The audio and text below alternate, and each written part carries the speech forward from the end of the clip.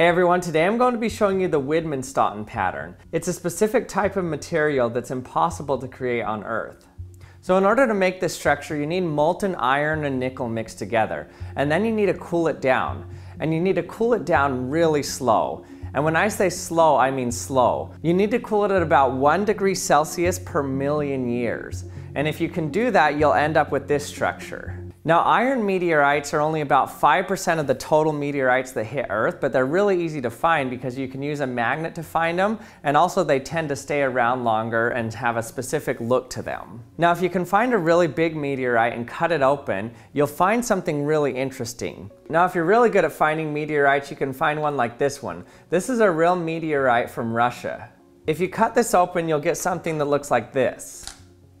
If it's a metal meteorite and you polish it, it will just look like polished metal. But if you put some acid on it, you'll notice a specific pattern that forms.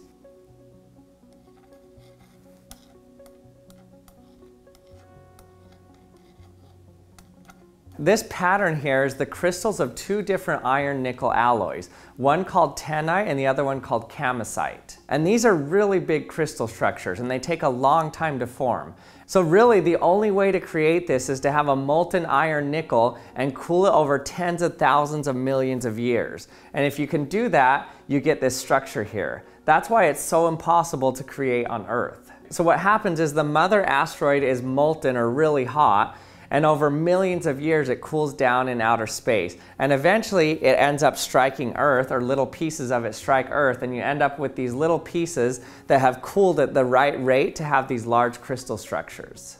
And before we continue, I'd like to thank NordVPN for sponsoring this video. NordVPN uses military-grade encryption to keep you anonymous when you're using the internet. It uses thousands of servers all over the world and it can bypass internet firewalls. Also, NordVPN is implementing an add-on to your browser called Threat Protection, which will help protect you from malicious websites, malware, and trackers even if you aren't currently connected to the VPN. If you don't use a VPN, everything that you do over your internet connection can potentially be hacked or it can be seen by your internet provider. So if you'd like to secure your and your family's internet usage, head over to nordvpn.com slash the Action Lab VPN. Now let's get back to our experiment.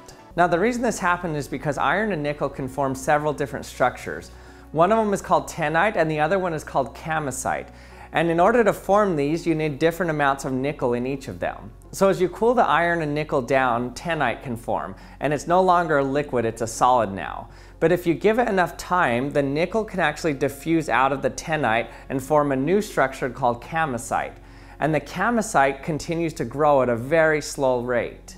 So the name of the structure that's impossible to create on Earth is a little confusing. Because the pattern is so recognizable, the name has been used for other crystal structures that look like it.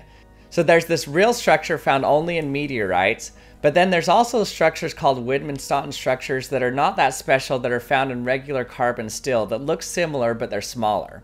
Also, people even use the name for any grain structure that has a regular pattern in it, which makes it even more confusing.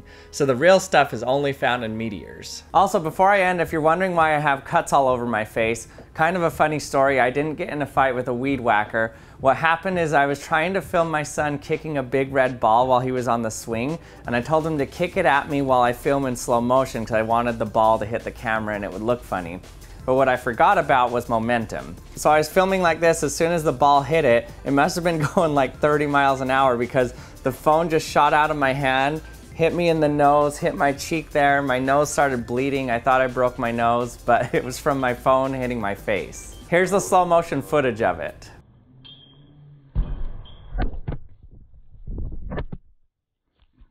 And thanks again for watching another episode of the Action Lab. I hope you liked it. If you did, don't forget to subscribe if you haven't yet. And you can also hit the bell so you can be notified when I do release my videos. And thanks for watching and I'll see you next time.